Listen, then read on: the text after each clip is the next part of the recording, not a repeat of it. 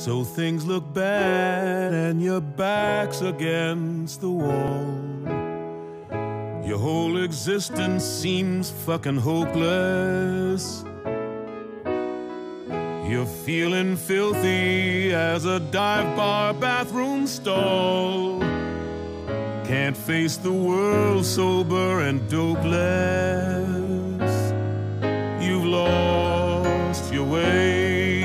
You think your life is wrecked.